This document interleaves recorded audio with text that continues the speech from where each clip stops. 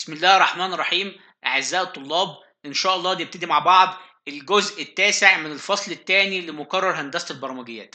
في الجزء ده يا جماعة هنتكلم بالتفصيل أكتر عن ال testing stages أو مراحل الاختبار إيه؟ الاختبار. قلنا المرة اللي فاتت يا جماعة إن الاختبار بيتم بثلاث مراحل مش كده؟ أيوه هما إيه؟ development or component testing ها؟ system testing و acceptance في الآخر testing يعني إيه؟ يعني الأول بنختبر ال components اللي هو إيه أجزاء الشاشات وأجزاء المكونات الرئيسية للبرنامج. جزء جزء بنسميها إيه component testing وبعد كده بنعمل testing لمين؟ للبرنامج كله أو النظام كله as whole ككله على بعضه. وفي الآخر بنقول بقى accepted or not accepted هل تحققت المواصفات أم لم تتحقق؟ مش كده؟ آه. طيب نشوف مع بعض بقى مجموعة تفاصيل أكتر. بنقول إيه؟ بنقول المراحل دي بتتحدد إزاي يا جماعة؟ إزاي بيتم الاختبار؟ بيقول لك وأنت أثناء عملية ال requirements specification تحديد المواصفات والانتقال لمرحلة ال system specification في الجزء ده يا جماعة من الممكن أن يحدث test لعملية تكامل ما بين المرحلتين مع بعض. بمعنى إيه؟ هل فعلا في الجزء ده تم تحديد المواصفات والمتطلبات تحديد إيه؟ مناسب مثالي زي بالظبط ما ال customer إيه؟ محتاج؟ معايا؟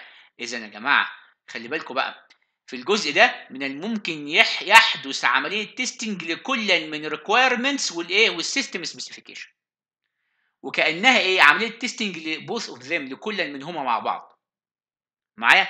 بيسموا المرحلة ديت ال accept ال acceptance test plan يعني أنت إيه خطتك الم... إيه الأولانية المرحليه الأولانية المرحلة الأولى أو الجزء الأول منها هل تحقق ولا لأ؟ هدفك في الأول موجود ولا مش موجود؟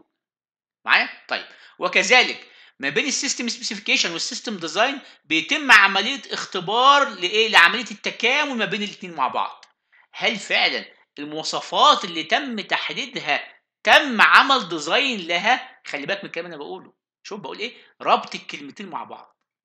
هل ها ال specification أو المواصفات اللي تم تحديدها في هذه المرحلة هل فعلا تم عمل design لها؟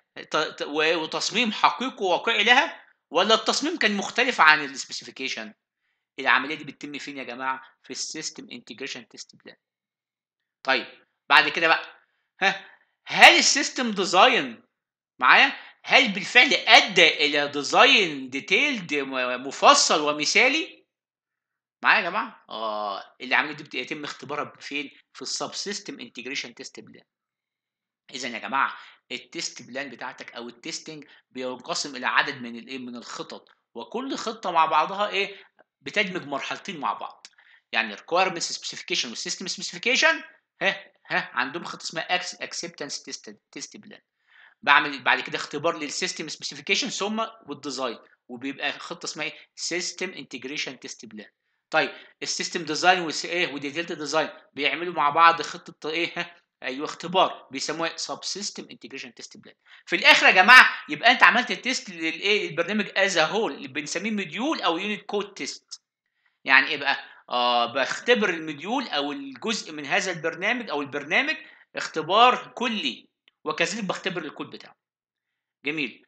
بعد كده بقى يا جماعة ال verification بقى يعني خلاص هل تم القبول ولا لأ؟ يعني فعلا لو في sub system integration test تم وال system integration test okay وال acceptance test برضو okay كل ده في الآخر بيؤدي إيه بعد كده يا جماعة؟ للخدمة. خلاص إن الخدمة تمت. إن تم عملية الإيه؟ الاختبار بسلام. السلام عليكم ورحمة الله وبركاته.